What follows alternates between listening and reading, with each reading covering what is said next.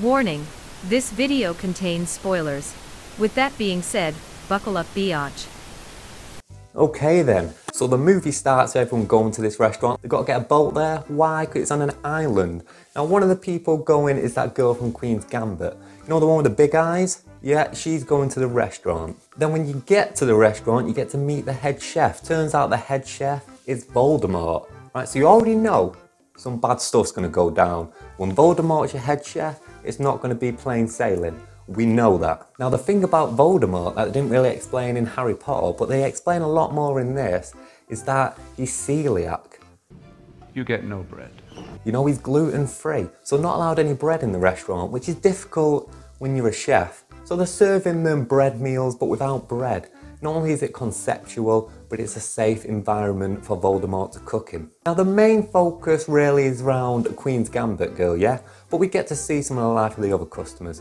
So you've got the regulars. It turns out one of the regulars, the old man, he knows Queen's Gambit girl because he paid her for some, you know, not so PG activities to indulge in, so to speak. She's a woman of the night. And I don't mean knight as in like the chess piece knight. I can see confusion there. Um, I mean more, she's a woman of the um, of the night. Anyway, we see some other people. You got some, you got some actor who's not very good. You got these tech guys who are like proper douches, and you've also got some food critics, and they're also proper douches as well. Then all these people start getting like quite annoyed at the the service. It's not it's not the best service. The maitre d's bit bit rude, you know, you'd expect more coming from a fancy restaurant. Oh, also the sous chef just shoots himself in the middle of the restaurant. It's all part of the concept. And um, oh, Voldemort tells everyone that they're to die. So people are not enjoying this visit, but there's a catch.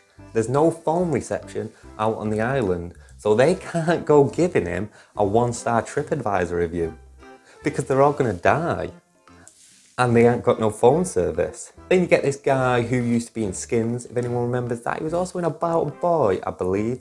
Anyway, he goes into the kitchen, he cooks up the chef some like leek and lamb meal, and then Voldy don't really like it, so he's really disheartened and he goes and hangs himself.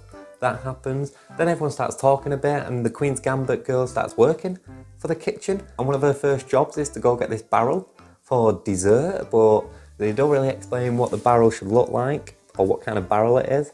So she don't have much to go off right there. The, the staff training for new starters is pretty much non-existent. But she finds it, she brings it back, and then she just goes back to eating and being a customer. Then she asks Voldemort if he'll, if he'll do her a cheeseburger off the menu. You know, and at first he's like, hey, no substitutions, but hey, I'll do it. Why the hell not? Makes her a cheeseburger. She asks for it to go, ironically, says that her eyes are too big for her stomach, which she does have big eyes. So she gets that cheeseburger and then she leaves. But everyone else stays there and they all get this nice parting gift, which is a, a necklace made out of marshmallows. They also get some lovely, lovely chocolate hats and then Voldemort gets in the middle of them all and he kind of Avada Kedavras himself and turns everyone into living s'mores. So everybody turns into turns into a s'more, which sounds sounds delicious, but also probably probably not that delicious. And yeah, kind of turns out that this whole thing was that he doesn't enjoy cooking that much anymore, or people don't respect his food. Which hey, maybe if you gave him a little bit of bread, they would um, they would expect it more. But and that's the movie, the menu anyway, so now you don't have to watch it or you can explain it fully to other people. Enjoy!